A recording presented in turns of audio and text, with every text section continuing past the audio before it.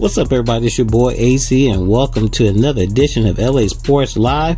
We have just completed the first Sunday of football. We still got Monday night football tomorrow, but uh, Sunday night is complete and it was wrapped up.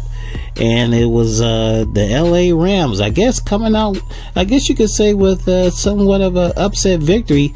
The Rams eked out a 20 to 17 victory over the uh, Dallas Cowboys, and uh, that was the opening game in their new stadium, and the Rams were able to eke out a victory.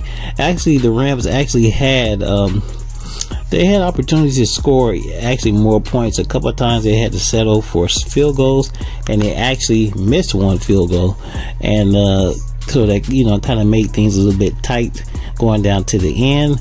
Of course, if you watch the game. Um, Dallas did have the ball towards the end of the game. They were driving.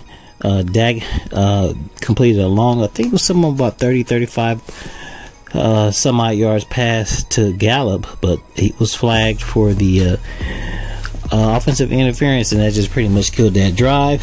And the Rams eke out a victory. Let's look at the uh, the the stats for the Rams, and uh, there was there was one the one big surprising standout for the Rams was their defense. They held a powerhouse offense like excuse me the Dallas Cowboys at 17 points. Let's look at the uh, let's look at the offensive uh, stats for the Cowboys. Um, of course, you know their quarterback Dak Prescott.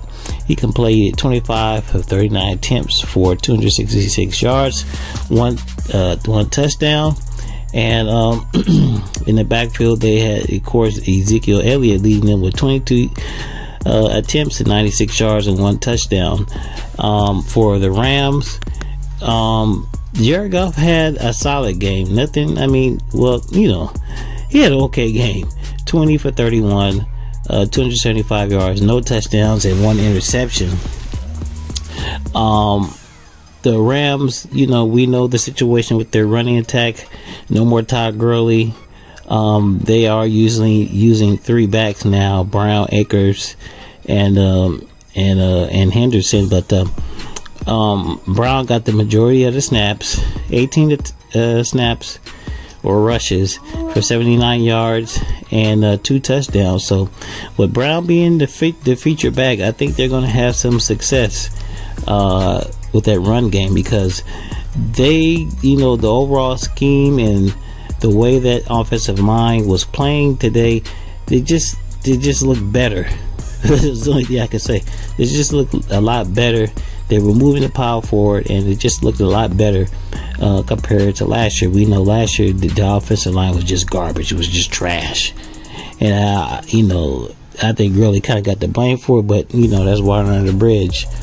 Um, so, like I said, that was a surprising win for the Rams. Uh, the Dallas Cowboys are going to have to go back to the drawing board. Um, the Rams with their new uh, defensive coordinator. Uh, the scheme wasn't too uh, complex, but it was enough to come, you know, confuse the Cowboys. The Cowboys didn't really uh, figure it out, and uh, look, they only came up with 17 points. So. Uh, so far, so good for the Rams. Uh, we'll see what they do next week. This is your boy AC LA Sports Live. Like, comment, share, subscribe. I really appreciate it. It really helps the channel out. I'll wrap with y'all later.